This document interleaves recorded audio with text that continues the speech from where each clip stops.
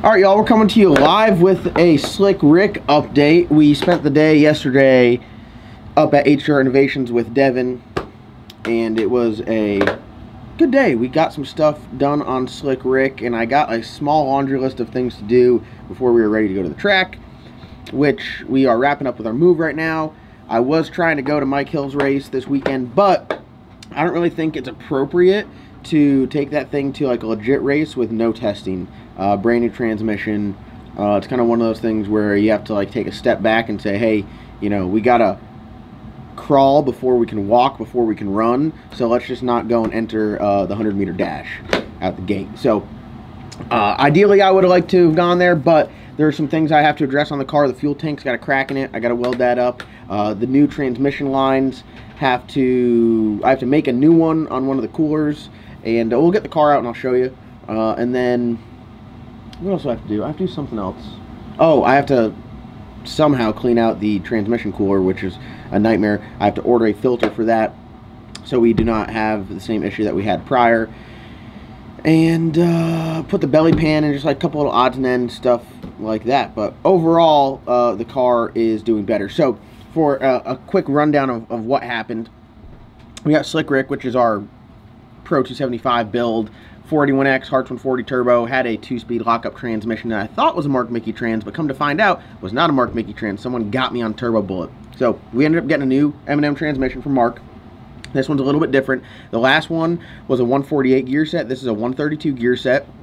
The last one had a lockup, trans brake, and external dump. This one has a lockup, has a soft lock, so it's a two-stage lockup. Uh, it has uh, an internal dump, which is spool assist, and then has an external dump, uh, and then it is a 132 gear set, so a little bit longer gear set.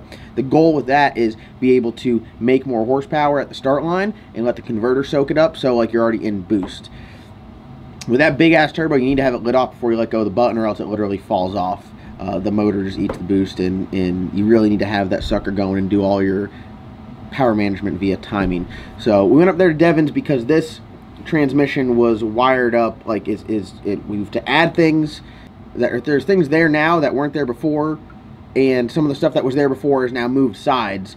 So I am not one to go in there and hack up some wiring. Could I wire some stuff up to make it work? Yes. Would it look like Fido's ass? Yes did I take it to the professional who wired the car originally? Yes. Was that the right move? Yes.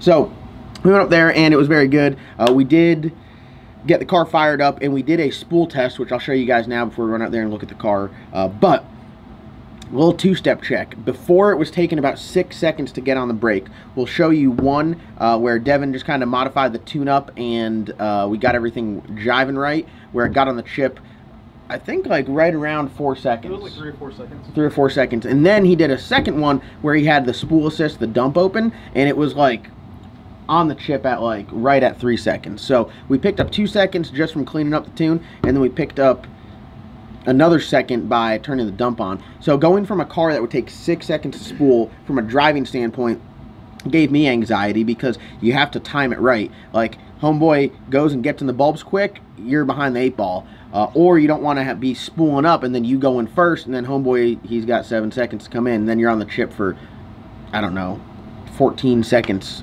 really is what it could take or longer if you don't bump in immediately once you get to the chip. So the car was very hard to race and we knew without having that dump on there it was going to be difficult to spool but a combination of uh, some like the fueling down uh, early on in the tune-up and uh, like where we just we just don't have any laps on the car. We haven't spent any time with it really. The first few laps we've made on the car we're just trying to figure out how the car drives uh, and then the last two when we went to the track we are like all right let's try to figure out the tune-up and all, the, all this stuff. Transmission shit out. So it was not an ideal situation but now we're starting fresh everything's good uh, we'll roll those clips and then we'll go take a look at the car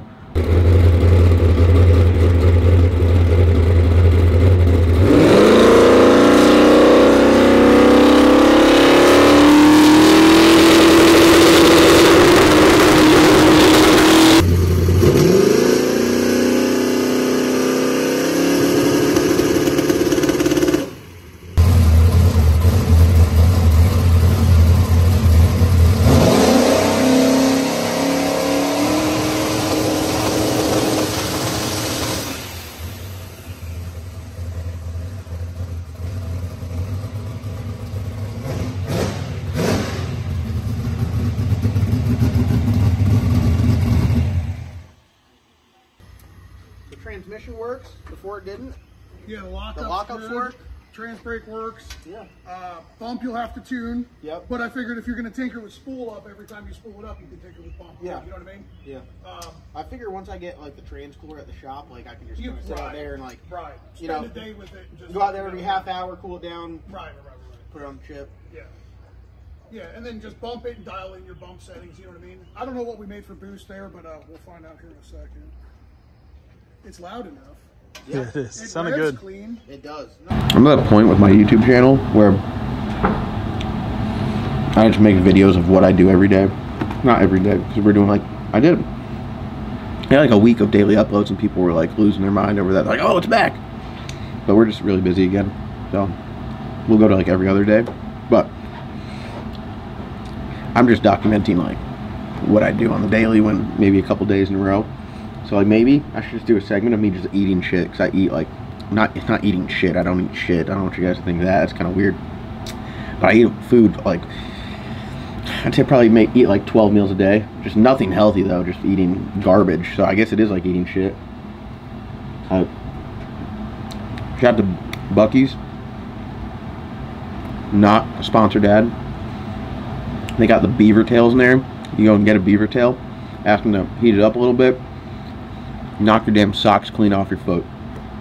And then they had a big ass cinnamon roll. I was like, man, I'm gonna get the beaver tail for tonight and the cinnamon roll for tomorrow morning. Power move. Icing, smack. Really played my cards right last night at midnight in Buc-ee's in Florence. Alright, let's go look at Slick Rick.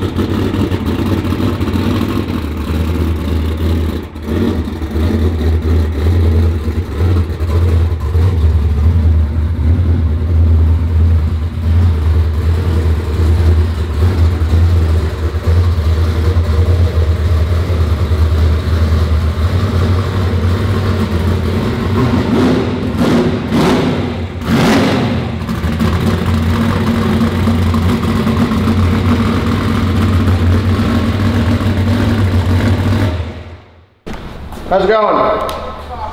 What's that? All right. Oh yeah. Thank you.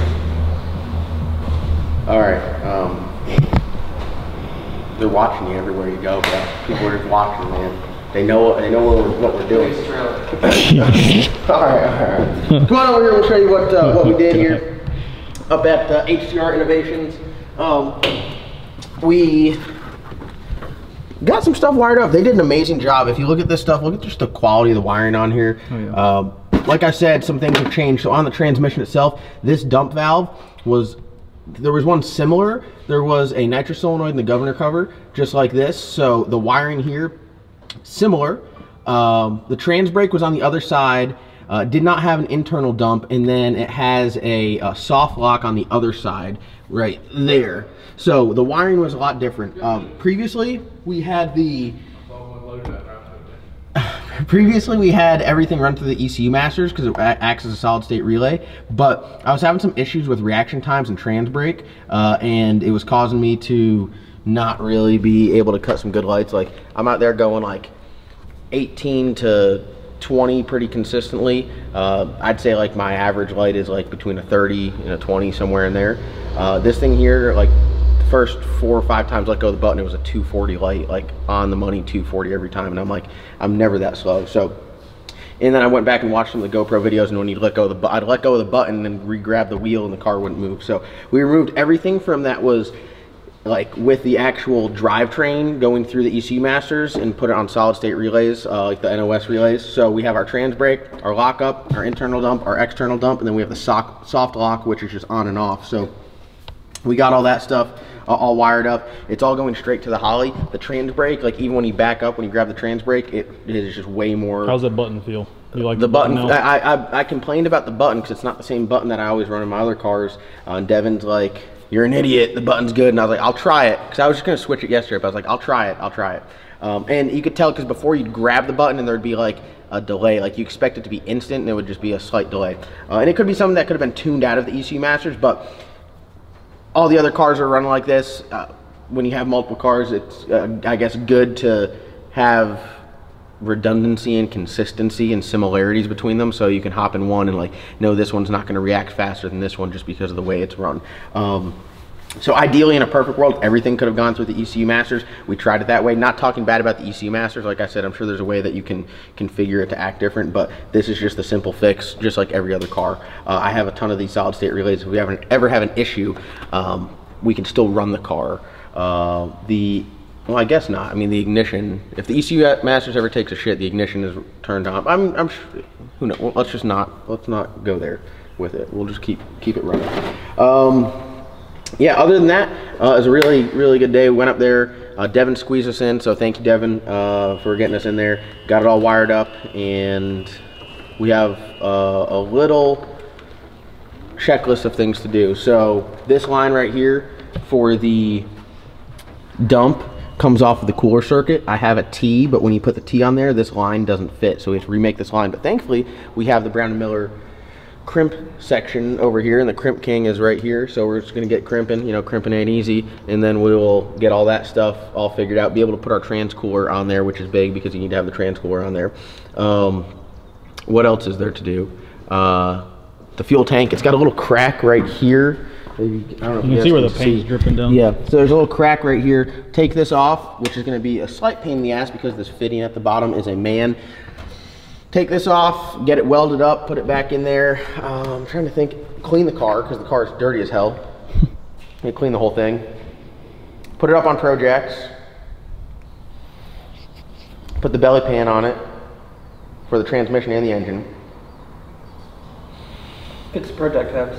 Fix the project tabs, and then I think we're good to go. So a small list, but a day's worth of work really. Uh, it's just gonna take a little bit of time to get that off, and get everything in there, and make sure. I, I don't know if maybe we should put like some like little rubber underneath it to try to like soften it, because I mean you gotta think like when this thing's on the chip, Yeah. it's pretty violent. Yeah, it so, is.